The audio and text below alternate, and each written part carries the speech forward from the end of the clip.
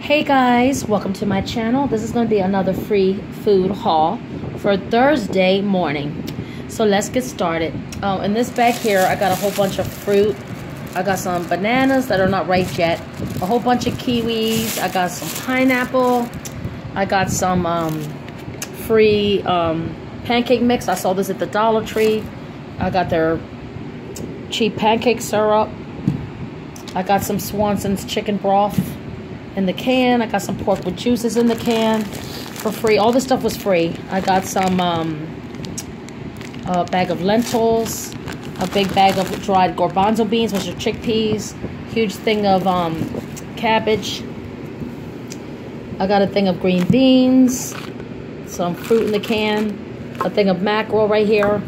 And then this bag here is sealed up, but I have a bunch of tomatoes, two things of 2%, you know, reduced fat milk, a big bag brand new of onions, and then this bag is all a bunch of fresh potatoes, little potatoes. I got a whole bag of those.